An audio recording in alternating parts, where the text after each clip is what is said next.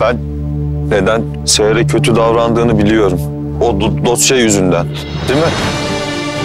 Gerçek neyse onu istiyorum. Sadece gerçeği. Gözlerine bakın. Gerçek kılıktan kılığa girse de gözlerde neyse odur. Neden bakıyorsun öyle? Niye ayırmıyorsun gözlerini üstünden? Senin gerçek yüzünü görmeye çalışıyorum.